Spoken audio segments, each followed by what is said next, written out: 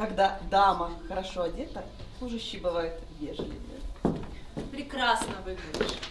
Смотри, не прибей там кого-нибудь случайно. Посмотреть спектакль по пьесе «Пощечина» французского романиста Эжена Лабиша смогли жители и гости Петропавловска. Это совместный проект экспериментальной лаборатории развития личности «Театр Лаб» и Камчатской краевой научной библиотеки имени Крашенинникова. Постановка началась с небольшого сюрприза. В анонсе мероприятия было сказано, что всех гостей, которые придут на премьеру в белом, будет ждать подарок. Это оказалось сладкое угощение – маршмеллоу.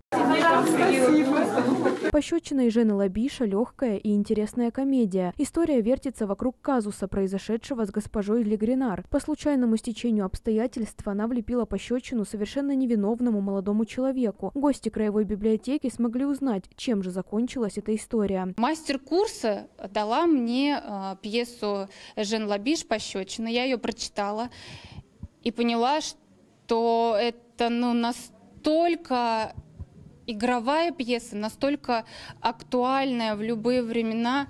Она такая смешная, там столько всего интересного происходит. Это просто кладезь для любого актера.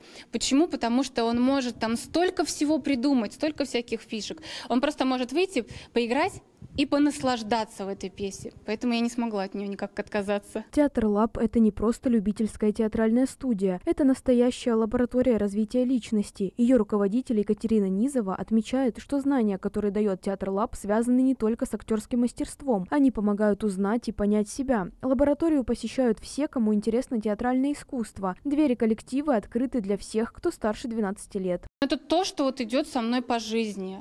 Э, театральная жизнь это моя жизнь. И я решила здесь тоже открыть такую э, театральную студию. Почему я ее назвала именно лаборатория? Вот она называется экспериментальная лаборатория развития личности. Не зря. Экспериментальная, потому что мы здесь ставим эксперименты. Лаборатория, потому что здесь можно какие-то опыты ставить. Ну, в смысле, опыты, э, как можно проживать эту жизнь. Кстати, не только на сцене. Они учатся многому э, тому, чему можно научить, э, что им пригодится потом и в жизни. Развитие Личности, понятно, они развивают здесь себя. Эта лаборатория мне дает в первую очередь уверенность в своих э, актерских умениях. Почему? Потому что мы там тренинги э, проходим на доверие. Э, допустим, ну, там есть достаточно много упражнений, которые раскрепощают, и они хорошо помогают в пьесах. Потом у нас есть различные игры, тоже, допустим, на запоминание. Вот мне нравится, а, у нас есть игра по, скажем, по типу снежного кома когда а, называешь какой-либо предмет, потом предыдущий предмет, предыдущий предыдущий предмет и тому подобное. Хорошо развивает память. В целом, э, мне очень нравится. Вот и на премьере «Пощечины» не обошлось без экспериментов. На сцене звучала живая музыка, стилизация спектакля была выполнена в черно-белом стиле, участие в проекте приняли обычные люди с нулевым уровнем подготовки, а самое главное, что все роли исполнили исключительно девушки. У меня была пьеса, а, где есть и мужские, и женские роли. Но ко мне в лабораторию ходят сейчас только девочки. Но эта пьеса мне прям на душу легла, я не могу от нее никак отказаться. И мы все-таки решили поставить ее в женском составе.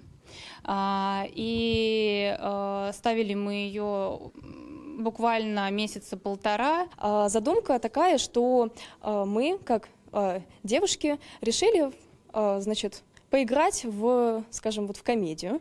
А, есть у нас и мужские роли. Вот я художник, у нас есть еще господин Легренар. Вот. Но мы постараемся комедийно, скажем, переиграть эти роли. На премьере «Пощечины» девушки не ставили себе цель поразить зрителей актерской игрой. Без этого, конечно, никуда, но главным было проверить себя.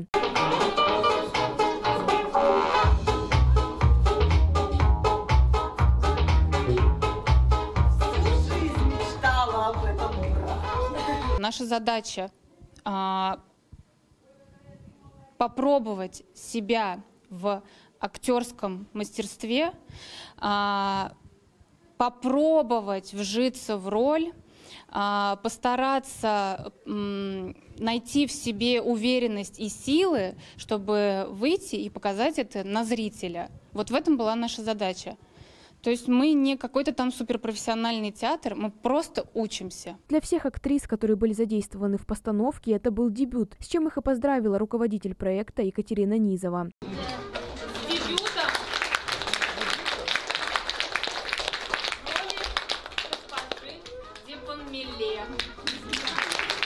Отметим, что это была не первая постановка театральной лаборатории. В прошлом году коллектив выступал на Российской студенческой весне, где занял первое место.